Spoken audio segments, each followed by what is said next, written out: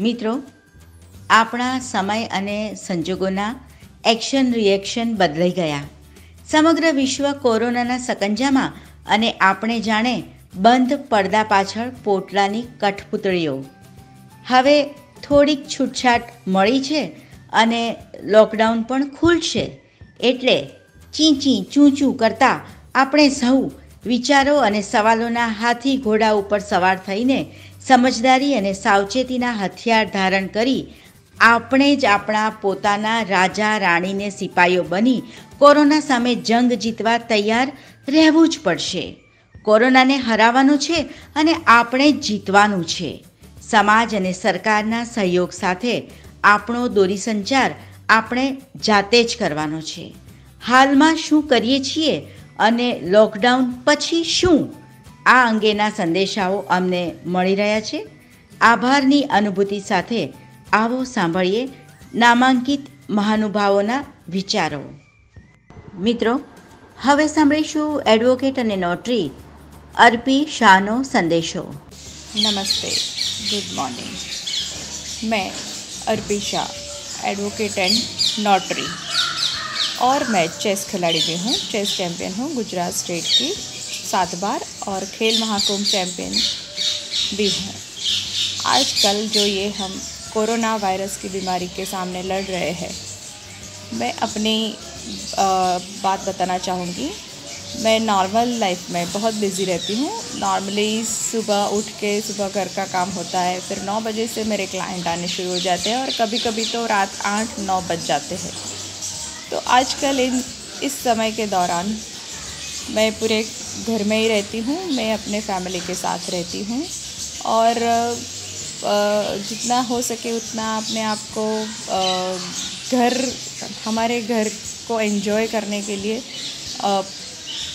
Include रहती हूँ।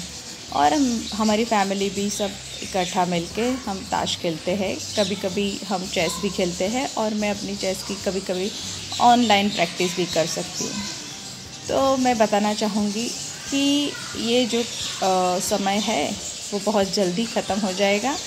जैसे कि कल हमारे प्रधानमंत्री जी ने भी बोला कि दिए करो और पूरी जगमगाहट से अंधेरा दूर हो जाएगा। तो ये जो कोविड नाइन्टीन कोरोना वायरस का जो कोविड नाइन्टीन वायरस आया है वो भी बहुत जल्द दूर भाग जाएगा और हम सब वापस अपनी लाइफ में हो जाएँगे। पर उससे पहले मैं बताना चाहूँगी कि हम कभी कभी वैकेशन लेते हैं बाहर घूमने जाते हैं। पर इन सब चीज़ में अभी जो समय मिला है उसमें हम पॉजिटिवली ये ले सकते हैं कि हम हमारे घर को एंजॉय करें। हमने बहुत अच्छे से हमारा घर बस, बसाया होता है। हम पर हमें टाइम नहीं मिलता है हमारे घर को एंजॉय करने का।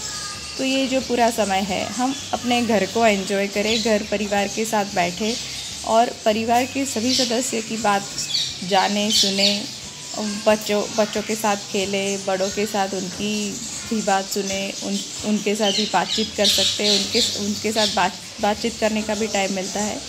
और बहुत सारा टाइम हमें मिलता है। तो हमें जो चीज़ अच्छी लगती है कि जैसे कि मैं चेस खेलती हूँ तो मैं चेस के लिए समय निकाल पाती हूँ।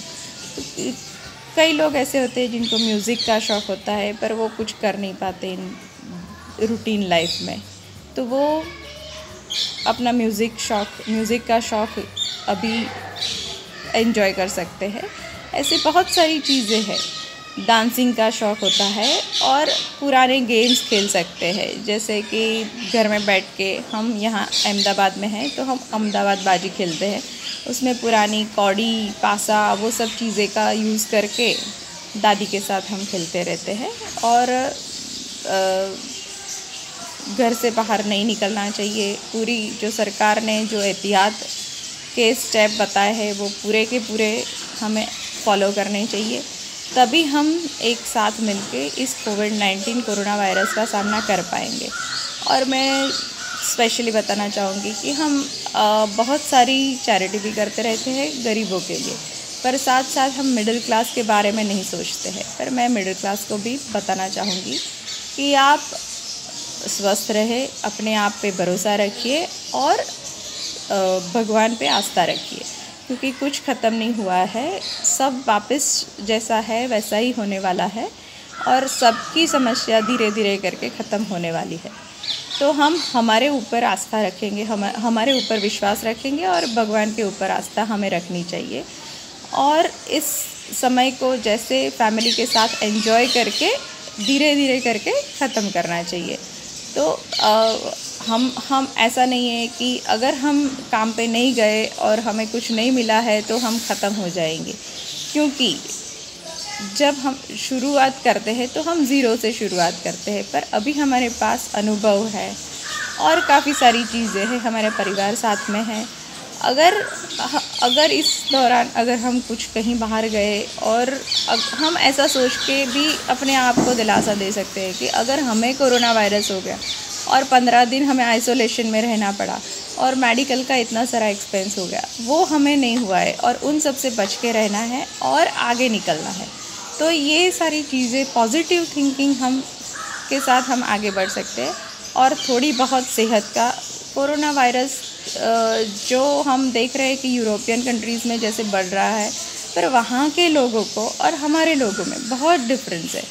हम हम यहाँ पर शांति और धैर्य से काम करते हैं फैमिली के साथ रहते हैं। वहाँ सब आइसोलेट पहले से ही है, फिर भी वहाँ पर ये कोरोना वायरस आया। क्यों? क्योंकि वो उनको आदत है बाहर जाने की सैटरडे संडे बाहर जाते हैं, एक दूसरे से मिलते हैं। और वो वहाँ के लोगों ने उनकी गवर्नमेंट का फॉलो नहीं किया। तो हमें चाहिए कि हम ये चीज़ फॉलो करें और कोरोना वायरस को मात मात दे दे। और और एक चीज़ मैं बताना चाहूँगी कि कोरोना वायरस में अगर किसी को भी हो ऐसे ना हो यही प्रार्थना करते हैं।